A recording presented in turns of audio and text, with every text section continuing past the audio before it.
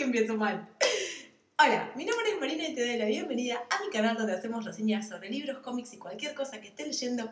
Y este es un video que estoy grabando por segunda vez porque lo había grabado, pero mágicamente desapareció de mi computadora, así que lo estamos haciendo de nuevo. ¿De qué libro estoy hablando? Lo leí en el Kindle, que se está convirtiendo en mi nuevo favorito del mundo mundial. Acá abajo después les dejo para que lo consigan si lo quieren. Em, y ahora después les cuento al final porque estoy eligiendo leer más por acá. Este es un libro que surgió del club, de uno de los clubes de lecturas que coordino. En realidad, una de las chicas de un club de lectura lo recomendó y lo pasé para el otro club y se coparon. Y acá estamos. Vamos a presentarlo en sociedad. Se llama El Proyecto Esposa. Ay, este señor tiene un nombre, un apellido súper raro, lo tengo que leer de acá. Eh, Graham Simpson, El Proyecto Esposa, del señor Graham Simpson. Es un autor australiano y esta es su primera novela. Se publicó en el 2013 y tuvo un éxito tremendo. En realidad ganó como un premio muy importante como guion y en este momento se está haciendo la película de El Proyecto Esposa. Y ahora les voy a contar un poquito de qué se trata.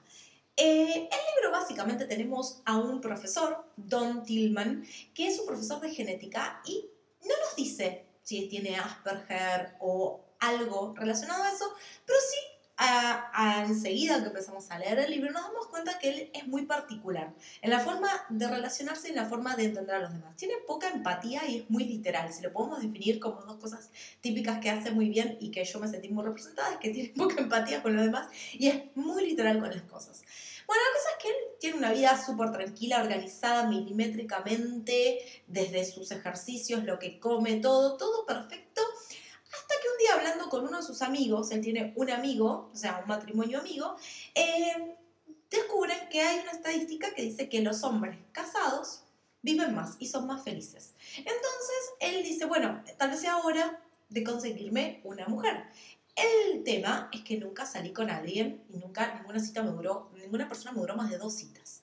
Entonces empieza a generar todo un sistema, un cuestionario para ver cómo elegir a la mujer y qué sé yo. Y en el medio de eso aparece una chica.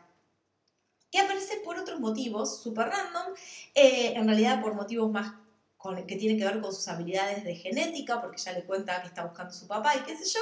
Y entonces tenemos por un lado su formulario y el tema de, de, tratar de buscar pareja a través de, la cosa lógica y lo más racionalmente correcto que sea. Y en el medio de eso tenemos la interrupción en su vida tan organizada y esquematizada de una chica con una búsqueda en particular que viene a desordenarle el mundo. Y ahí está la historia. Que me gustó, se lee muy rápido. Em, nada, creo que para, por ejemplo, hoy en Buenos Aires hace tres días que llueve, es mucho. Para, una, para un día que llueve mucho, para una tarde, para unas vacaciones, me parece que es una lectura liviana y que está muy bien. Creo que si le tuviera que criticar a veces es demasiado liviana la resolución o tal vez los problemas, es como, bueno, no era tan grave esto, bueno, él al final tampoco era tan... Em, eh, para, para que les se le den una idea, muchas veces, o en algunas reseñas que le hice, lo solía comparar con Sheldon de Big Bang Theory, pero no es tan Sheldon, de alguna manera logra conectar con la gente, bueno, o sea, no es tan intenso, y creo que se podría haber sido, que podría el autor ir un poquito más y, y, describir un poco los, los personajes con más grises. Es todo como bastante liviano, pero también a veces viene bien leer algo liviano, así que me gustó. Que va a ser, vienen de esos hits que son mejores en película que en libro, no me pregunten por qué, pero hay cosas que van mejor para eso. Y después cuando investigué y vi que él había ganado, o sea, en realidad el libro original ganó como guion, dije, ah, bueno, entiendo. Sé que eh, la película en teoría la va a hacer Ryan Reynolds y vamos a ver qué sale, pero creo que va a estar muy divertida. Eh, para mí fue una literatura que estuvo ok, un librito que estuvo bien, para la tardecita me divertí, algo me sentí representada con este personaje tan eh, esquemático, tan literal, tan que le costaba entender cómo funcionan las relaciones humanas. Este, tan poco empático a veces con lo que se le pasaba al otro, eh, tiene como ciertos momentos divertidos y graciosos al respecto de eso, y vamos un poco siguiendo su apertura al mundo, ¿no? Esta llegada de esta chica le da otro, le cambia todo y vamos cambiando su, forma de ver con él. en toda la aventura.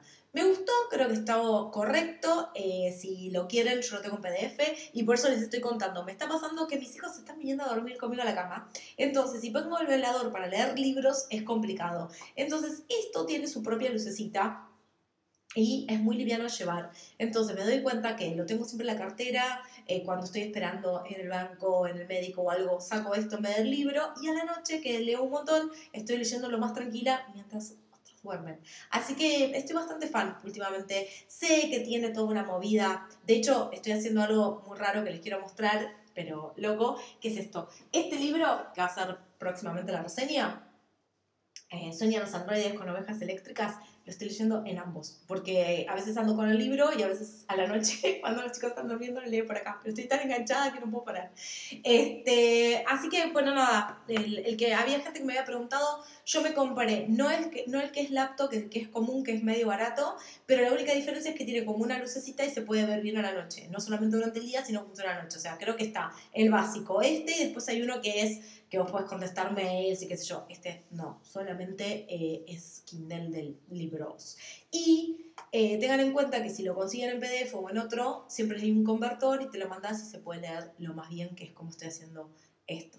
Eh, bueno, eso es todo. Muchísimas gracias por estar del otro lado y estoy retomando la lectura muy feliz, así que atenti que vamos a hacer todos los jueves, va a seguir habiendo videos nuevos. Suscríbete, dale like, compartí, contame qué te pareció, si leíste este libro, si te gustó, si no te gustó.